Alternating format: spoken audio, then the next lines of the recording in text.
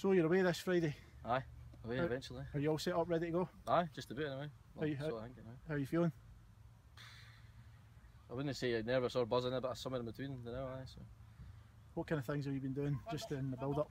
I know you've had uh, a couple of going away nights and things like that. Aye, well, a couple fundraisers, trying to get a bit of funding. It was short notice time, so that didn't have the money to get together, but got her to our target, so I'm set Perfect. for that. Just obviously putting the training in as well to try and get myself fit. What kind of training have you been doing in the build-up? Um, got a training program for yourself. Um, doing that, um, going to mile runs, cycling, going swimming, going to the gym obviously as well. Yeah. Loads of cardio. So you're feeling in good shape?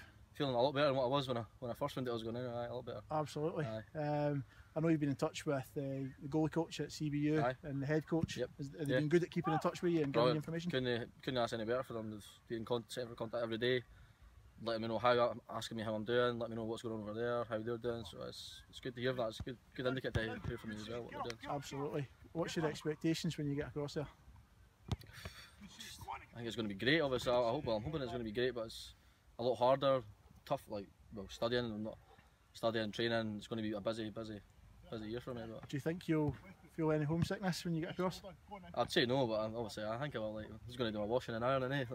so Absolutely, you've got Yeah. that sorted out.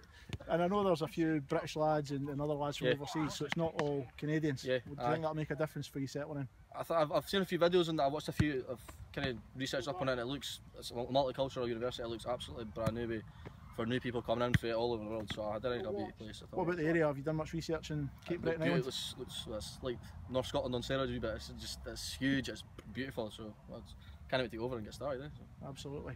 Um, well, listen, we, we wish you well. Aye. Um, you go. And we'll look forward to seeing you when you're across there and getting started. Aye.